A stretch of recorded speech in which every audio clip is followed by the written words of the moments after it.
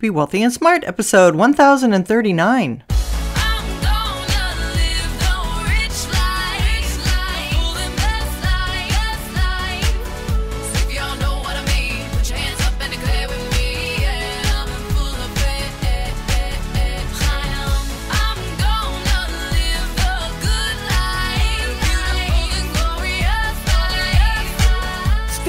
World of wealth and financial freedom without budgets, boredom, or bosses on Be Wealthy and Smart.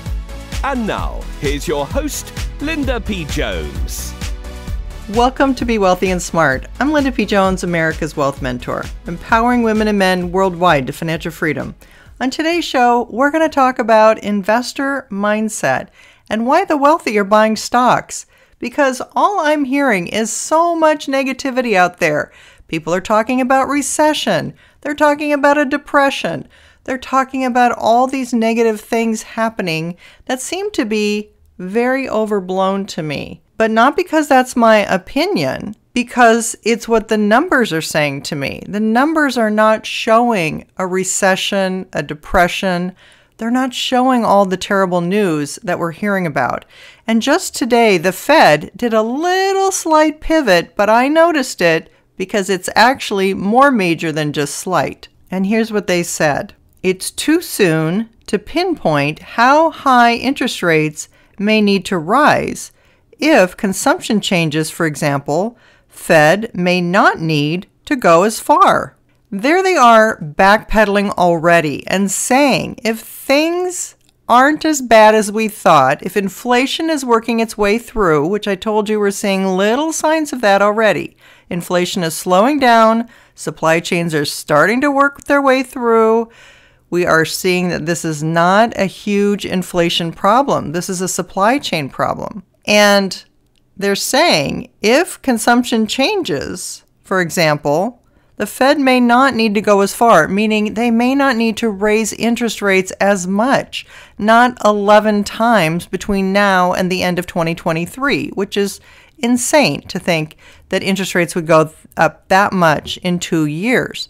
So they're already starting to softly backpedal just a little bit. But that's enough for stocks to take that as a change in tone from the hawkishness that the Fed has been giving as the narrative to a little bit more dovish, to a little bit less strict, less tight, less high interest rate oriented. So we'll be following that and see what happens. The other thing they said was the stock market provides an important price signal.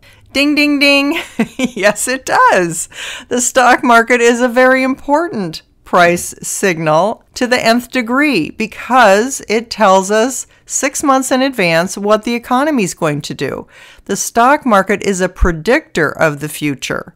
It does not look in the rearview mirror. It looks forward and it anticipates things way in advance. So the stock market is the most important indicator that we have, really. So for the Fed to say that they can just ignore the stock market, they don't care if it crashes, baloney. They don't want the stock market to crash because they know that people will come looking for them if that happens because they caused this with all these fast interest rate hikes that caused the bond market to crash, that caused markets to get out of equilibrium and to cause people to get more defensive, to move out of fast growth tech stocks into more conservative value stocks, thereby devastating some of the most popular tech stocks out there that are strong companies that are growing quickly, that have high earnings rates and double digit revenue growth. And now, just by tapping the brakes a little bit, and the fact that there's so much darn value out there right now because these technology stocks are actually cheaper than the value stocks. They have higher growth rates and they're selling at lower multiples. That means they're less expensive. Money managers are going to want to invest in technology and get that growth again, especially if interest rates aren't going to rise as fast as we thought. So we've done this full rotation from aggressiveness to fear and slowly tiptoeing back to more aggressive stocks. But what I really wanted to talk to you about today is how people with higher net worth treat stocks because perhaps they've gotten their net worth from those stocks. Maybe not, but maybe they did. But they're treating stocks a little bit differently than maybe a newer investor or someone that doesn't have as much invested in the stock market. People that have a large stock portfolio do certain things differently. They buy when stocks are on sale. So when prices decline, they actually come in and buy. They want to know where the bargains are. They're looking for quality at a discount. And that's when they put their money to work, is when they can buy a fast growing company at an inexpensive price. Like I was talking to you about Google the other day and how it's only at 14 times earnings, but yet it has double digit revenue growth, strong cash flow, etc. Rather than looking for getting more safe, they might get more aggressive as the market is lower because stocks have already come down so much that the additional downside is likely limited. So that's when they're likely to get more aggressive, is when stocks have already declined. So we're going to talk about an article that CNBC wrote about affluent investors. And we're just going to see if there aren't some different attitudes and some different habits, maybe, that people with a million dollars or more, what they say and how they handle their investments. So, this was written by Robert Frank, and the headline says More wealthy investors would rather hold or add stocks than sell if markets keep sliding, survey says. And the article says wealthy investors are more likely to add to their stock holdings or shift out of certain sectors rather than sell if stocks continue to decline, according to a new survey. More than one in four, or 26%, of U.S. millionaire investors surveyed said they would add to their investments if financial markets decline further, according to the UBS Investor Sentiment Survey. Only 19% said they would decrease their investments, and 25% said they would make no changes. The survey of 900 investors and 500 business owners with at least a million dollars in investable assets found that 30% of investors said they would shift sectors if markets decline. When asked how likely they would be to invest in certain asset classes, the largest number, 37%, said stocks. They also plan to invest more in commodities, with 32% favoring gold and 31% favoring oil. So I want to pause there and say these are accredited investors, investors with a million dollars of investable assets outside of their primary residence. And they're talking about how they would buy more stocks. Also, how they would invest maybe in more commodities like silver and gold and oil. Now, to me, what they're saying is stocks are on sale. We like buying quality assets on sale. And because of inflation, we may shift some of our assets to more inflation oriented assets, such as commodities. Commodities tend to grow more when inflation is higher, which is why I have some of our portfolio invested in silver and in gold and silver mining stocks. These are the things that increase in value typically as inflation tends to increase. Now, not always, it's not a perfect one to one correlation, but in general, when inflation starts to increase, it is something in the investment industry that investors look for more commodity type or real assets. Things that you can touch and feel, not just paper assets like stock certificates, but things like oil, gold, silver, copper, maybe even certain foods like coffee or sugar. But the main investor mindset there was not the thought to escape the market, be scared, and hide in cash. You didn't hear that, did you? What you heard was we can readjust our portfolio to take advantage of inflation and assets that do well in inflation, and we can adjust our portfolio to buy stocks on sale. Those are both great mindsets because the millionaire investor is really thinking about staying invested. They're thinking about having their money work harder for them. And they're thinking about what assets are going to grow and grow their money into more money. And that's the way you have to think to be a successful investor is always how to get your money working harder for you and what can you put it in that's going to grow and expand. The article went on to say a majority of investors cite inflation as a leading investment concern, just behind politics and geopolitical risk. A majority, 51%, also said volatility is higher than usual. While the market swings, concerns about rate hikes and inflation are taking center stage. Well, those are the most important points that I wanted to make from that article, and I will put a link to the show notes if you want to read the whole thing. But mainly, the point I'm trying to make is to have the right investor mindset, to not buy into all the negativity that you're hearing. Because remember, the best path is usually the contrarian path, which means that just as everybody seems to get very pessimistic and nobody thinks the market is going to do anything or come back, everyone's convinced it's going lower. Well, that's about the time when it surprises us and it does the opposite and it starts to go the other way. And people still don't believe it and still don't believe it. And the market goes up and they're going to say, oh, it's just a bear market bounce. It's just a short term top. You should really use this to be selling and getting out. You're going to hear that, and you're going to hear that a lot. But that's not what I'm finding.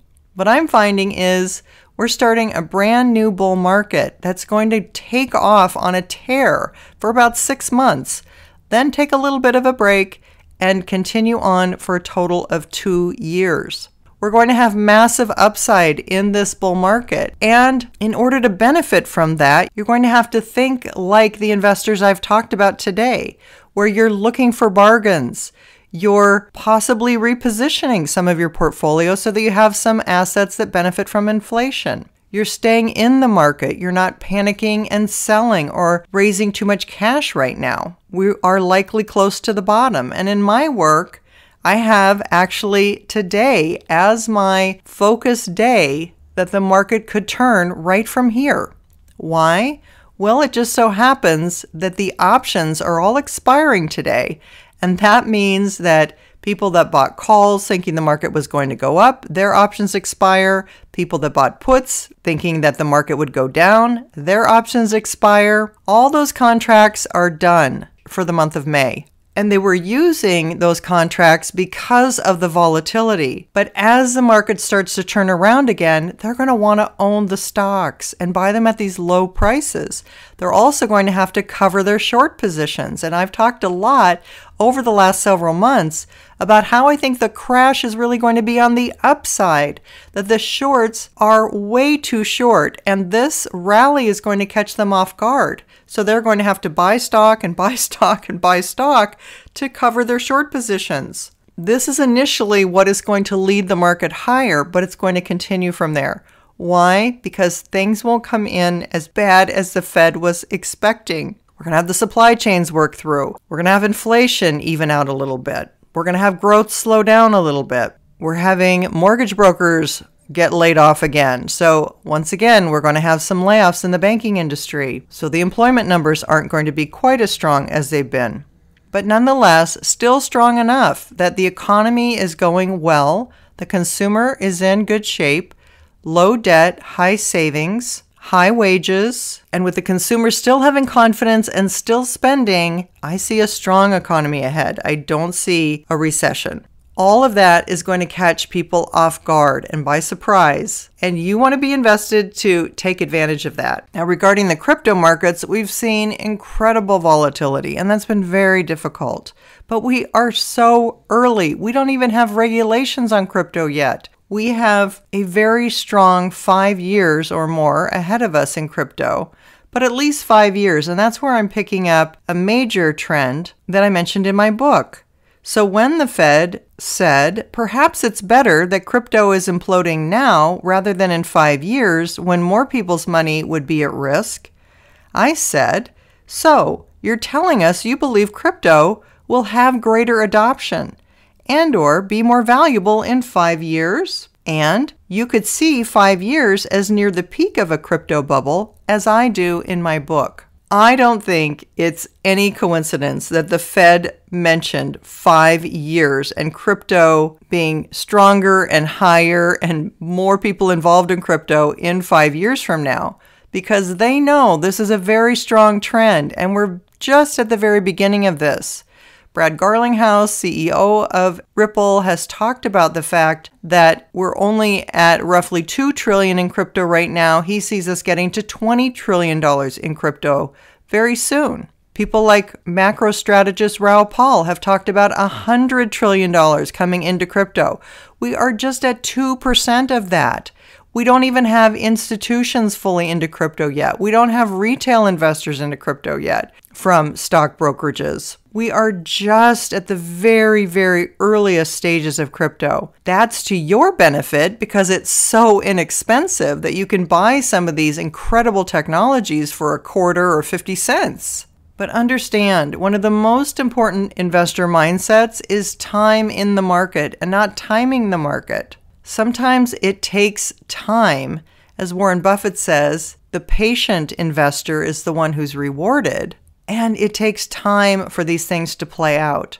So we have to be patient. We have to let the markets do what they're going to do. But I think we have very, very good news ahead for the stock markets and ultimately over the next five years, an amazing crypto market as well. These pullbacks and volatility are part of investing. They're part of what we have to deal with to get to high double digit compounding rates of return. But they're worth it. And it's worth owning quality, making smart investments today at these rock bottom prices so that you're set up really well for the future. And that's really the point I wanted to make today. Was the moves you're making right now, the moves you make during a bear market, the way that you position yourself, the things that you buy, the things that you invest in, that is what sets you up for wealth in the next cycle.